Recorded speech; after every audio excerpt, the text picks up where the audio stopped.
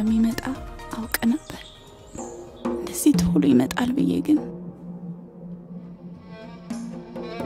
ሴትነቴን ለማረጋገጥ ይህን ማድረግ አለብኝ።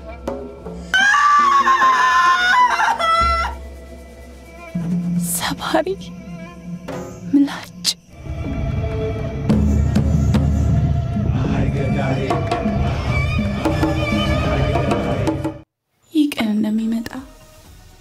Well, Pretoria born producer, director, and writer Lethabo Mokgatle's film called Sebari Milach, which means break the blade in Amharic, has been doing very well in the cinematic landscape locally and abroad. This thesis film touches on the sensitive topic of female circumcision, and it's a true story that the main actress who plays the role of Afia experienced at the age of four years old in Ethiopia. Lethabo Mokgatle joins us now via Zoom to tell us more about this exciting project. Very good morning to you, Litabo. Thank you so much for joining us. Welcome to Morning Live. Morning. Thank you so much for having me. This is a very important film bordering on a very, very important subject, that of uh, female circumcision. And, you know, there's also, you know, uh, issues of uh, FGM or female genital mutilation that also come into this conversation. First of all, tell us what inspired you to write this film? That's a very, very good question. Um, the inspiration came from 10 years ago when I met a young woman who her mom went through circumcision. And I remember her telling me all the traumatic things that took place that her mom went through. And as a young filmmaker at the time, I wanted to talk about this type of topic, mm. but I didn't know how to go about it. And at the time, a lot of people were making documentaries, but they were not really being very well known or, you know, basically having this type of topic um, talked about as a huge sensitive topic. So I think, you know, from three years ago, I sat down and I thankfully met with amazing people that helped me put this together. Let's talk about your vision for this film and how you sort of managed to tell this story with so much care and truth without being overly invasive to the subject, of course. Oh, yes, yes. Um, initially, this story was going to be a psychological horror, um, showing how mutilation plays a role on these women, because not only is it as a, done as a ritual practice, but it also has a huge spiritual background to it.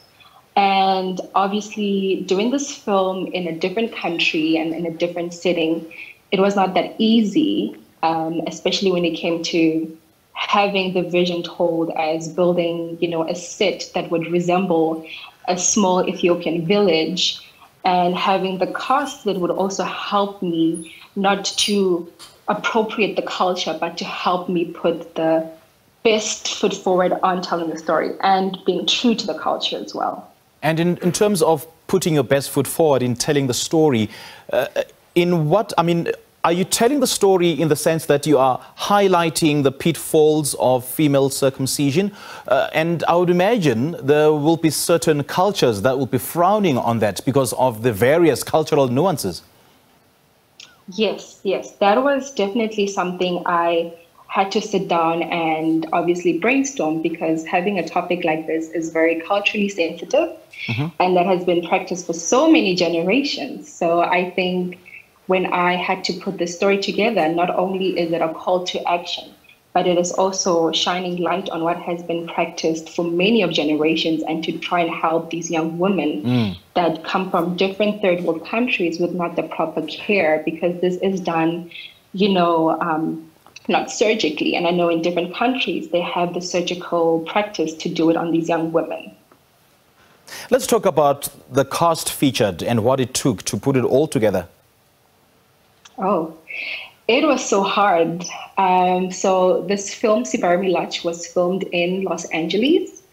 And obviously having a cast that is Ethiopian was not that hard, um, was not that easy to find. So I teamed up with the Vision casting director who helped me outsource the cast because as I mentioned before, I wanted to stick true to the culture, stick true to what uh, the story is about. And I didn't want it to be in English. And that is why it's in Amharic. So going about finding the crew and the cast in Los Angeles was very hard because this was during COVID times and there was a lot of COVID restrictions. Yeah. But I had to put on all cast calls on social media, talking to people that I knew that knew Haitian actors. And funny thing, having my main actress came in two weeks before the film, as the main actress before had gotten COVID.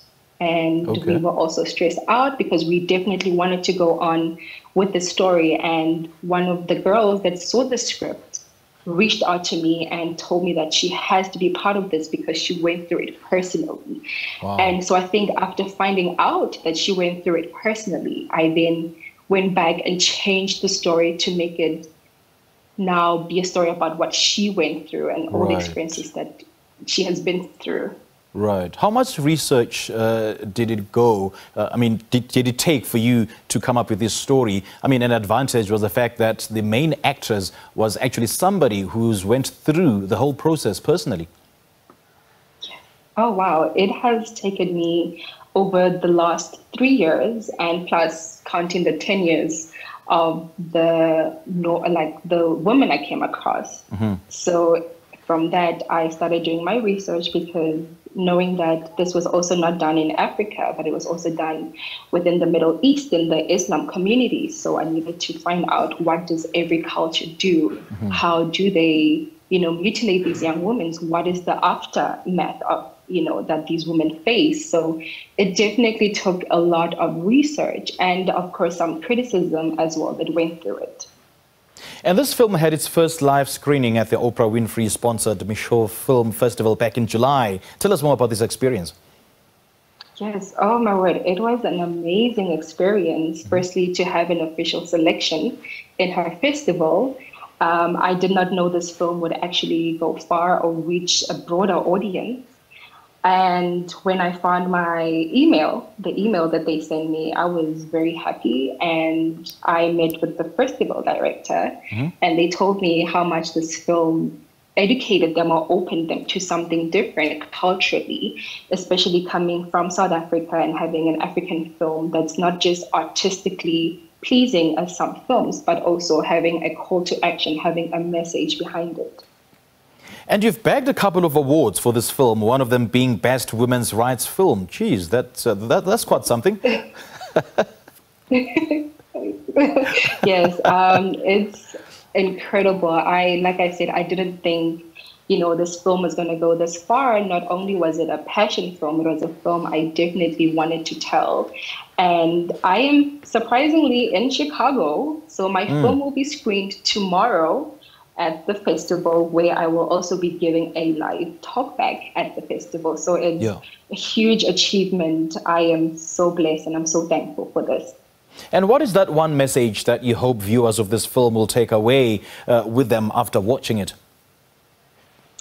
I hope that, you know, as I mentioned, this is a traditional controversial film. Mm. You know, mm. it raises so many topics. I've had so many questions where most people didn't know about this.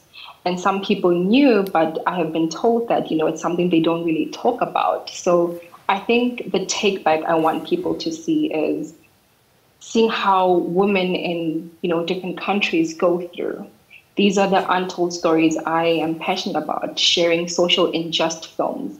So having a film like this, opening people to what mutilation is and helping, you know, to still spread the awareness on stopping FGM because I know there is a movement out there for young women and but it's not really known. So I think just having them see and relate to the main actress is something I definitely wish and hope that hmm. the audience will take that in. Just before I let you go, we're out of time, unfortunately. So, when are we likely to see it in South Africa? It will definitely be next year. We are planning a public screening with the Royal Bafokeng. Okay. Um, if you're not familiar with them, they are located in Rustenburg. So they are part of my family and they are trying to have a huge premiere there. Okay. All right. Great chatting to you, Lethabo. Thank you so much for joining us. Eh? Thank you for having me. I appreciate it. It's, an, it's a pleasure. Well, that's producer, director, and writer Lethabo Mokgatle, and we've been talking about her multi award winning film called Sebari Milach.